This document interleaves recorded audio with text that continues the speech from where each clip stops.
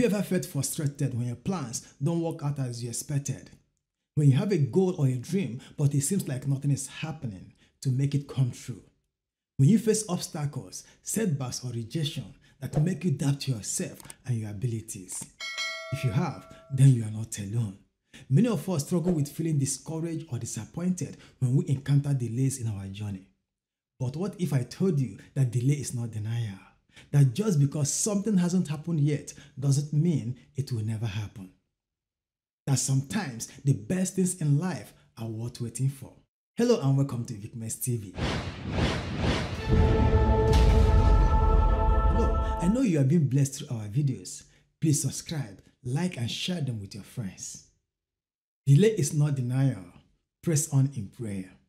Luke chapter 18, verse number 1. Then he spoke a parable to them that men always ought to pray and not lose heart.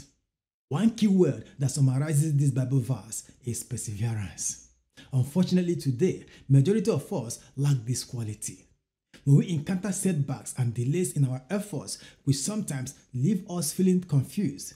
We feel God has abandoned us. No, He has not. He has got our back. He has engraved us on the palms of his hands and will never forsake us. Our walls are ever before him, according to Isaiah chapter 49, verse number 16. Sure, there might have been delays in attaining that goal or seeing the fulfillment of God's promise, but that does not equate to denial. It might be we are not ready yet, or the circumstances are not favorable at the moment. It could be a hidden indicator that something better is waiting, or maybe there is something we need to learn first. Perhaps we need to grow and develop our skills before we can reach our full potentials. And growth is not only about acquiring new skills or knowledge, but also about changing our mindset, attitude, and behavior. We may say, God knows our needs. Why doesn't He just give it to us? Yes, He knows, and will give us at the right time. You must trust that there is a divine plan for your life and that everything will happen at the right time. Understand that many things, time and again, happen in the spirit and as well as in the physical realms, which we do not comprehend and which can lead to delays.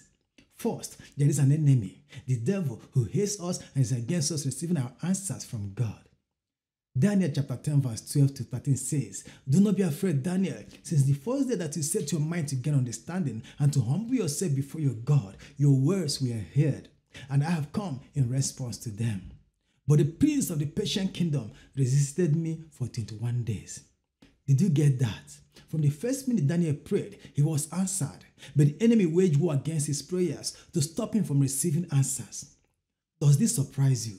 I guess not. The thief comes only to steal and kill and to destroy. But the Son of Man have come that we may have life and have it to the full. John 10 10. God always desires the best for us. Amen. Second, there are things that God is working in us while we are persevering in prayer. If every answer always came immediately, would you press in and spend time drawing closer to God and studying His Word? God's plan is for us to grow up spiritually. He wants to enlarge our faith and encourage us to develop a closer relationship with Him. So don't despair in prayer. Keep on praying in faith as long as you are praying according to God's Word. Besides, a delay, even a very long one, does not mean that God is saying no to your request. One notable example is the story of Joseph in Genesis chapter 37 through to chapter 41.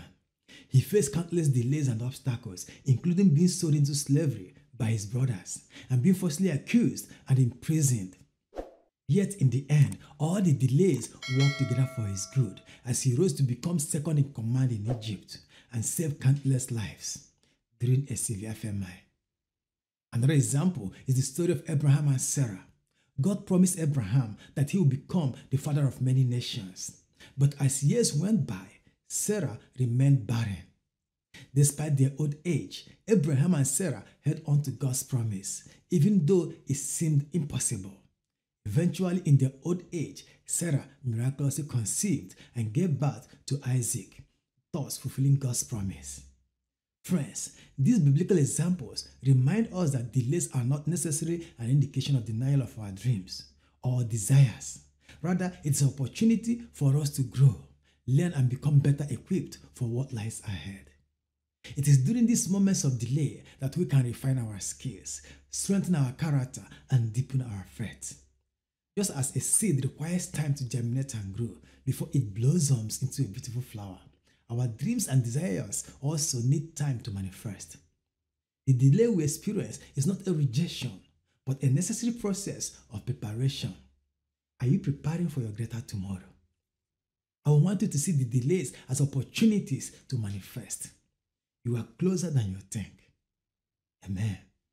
God bless you.